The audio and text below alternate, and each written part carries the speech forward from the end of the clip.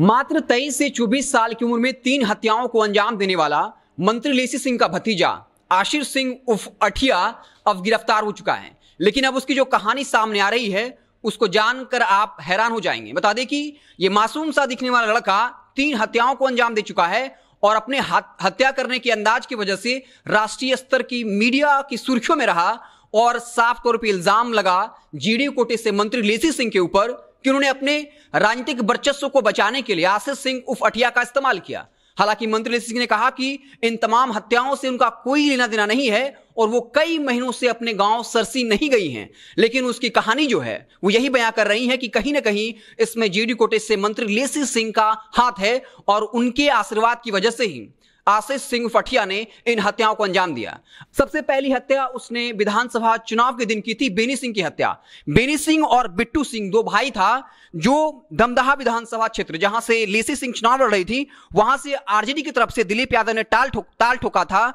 बिट्टू सिंह और बेनी सिंह जो है वो दिलीप यादव के लिए प्रचार कर रहे थे और लेसी सिंह के भतीजे को यह बात नागवार नागवार गुजरी और उसकी तूतू में बेनी सिंह से हो गई थी, जिसके बाद विधानसभा चुनाव के दिन ही उसने बेनी सिंह की हत्या की थी। 11 नवंबर 2021 को उसने रिंटू सिंह की हत्या की, जो पूर्व जिला परिषद था और उसकी पत्नी उस वक्त जिला परिषद थी। यह बताया जाता था कि रिंटू सिंह जो है, वो कहीं ना कहीं लेसी सिंह को चुनौती दे रहा था और खबर यह थी कि उसने बाकायदा जिस लेसी सिंह के जो समर्थक थे, वहाँ से जिला परिषद चुनाव हार गए थे और रिंटू सिंह ने अपनी पत्नी को चुनाव जितवा दिया था और आने वाले वक्त में वो दमदहा विधानसभा क्षेत्र से चुनाव लड़ने की तैयारी कर रहा था और वो कहीं ना कहीं मंत्री लेसी सिंह के वर्चस्व को चुनौती दे रहा था और ये बात अटिया को अच्छा नहीं लगा और उसने 11 नवंबर 2021 को रिंटू सिंह, जो पूर्व जिला परिषद था, उसे मौत के घाट उतार दिया।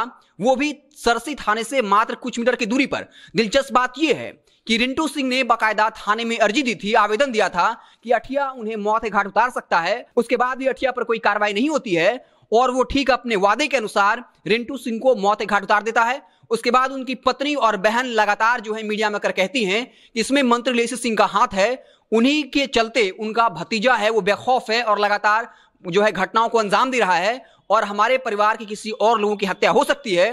उसके बाद उसे गिरफ्तारी नहीं होती है। मंत्री लेसी सिंह कहती है कि वो कई महीनों से अपने गाँव नहीं गई हैं और उनका इन हत्याओं में कोई जो है हाथ नहीं है। लेकिन सवाल ये उठता है कि आशीष सिंह उर्फ़ अठिया जो उनका भतीजा है उसने बकायदा विधानसभा चुनाव के दौरान जो है, बीनी सिंह की हत्या इसलिए कर दी थी क्योंकि वो आरजेडी कैंडिडेट के लिए चुनाव प्रचार कर रहा था और फिर 11 नवंबर 2021 को रिंटू सिंह की हत्या करता है क्योंकि डर होता है कि आने वाले वक्त में वो उनकी चाची, यानी लेसी सिंह के लिए एक जो है प्रतिद्वंदी बनकर उभर सकता है और फिर 11 नवंबर 2021 को उसे मौत मौत के घाट उतारता है। उसके बाद बता दें कि रिंटू सिंह का एक दोस्त होता है नीरज झा।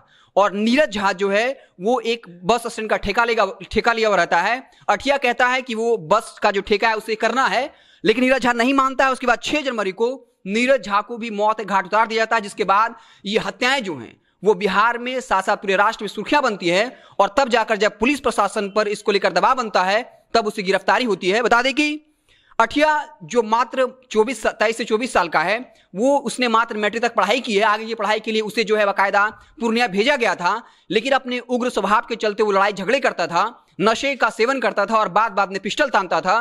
उसके बाद उसे पुनः सरसी गाँव बुला लिया गया, जिसके बाद उसने अपराध की दुनिया में कदम रखा और उसके बाद एक एक करके तीन लोगों को मौत घाट उतार दिया और साफ़ तौर पर यह हत्या इसलिए की गई ताकि लेसी सिंह के राजनीतिक वजूद को बचाया जा सके, उनके प्रतिद्वंदों को हटाया जा सके, लेकिन लेसी सिंह लगातार कह रही है कि उसमें कोई हाथ नहीं है।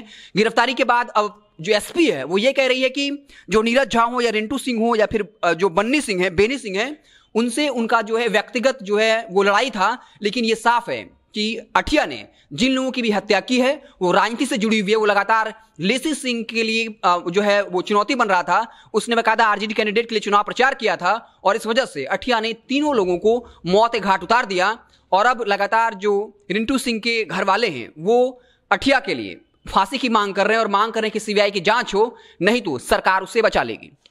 अब इन तमाम मसलों के बाद साफ़ हो गया कहीं ना कहीं अठिया को प्रशासन का सह था और इसी आधार पर वो बेखौफ होकर तीन तीन हत्याएँ कर चुका है।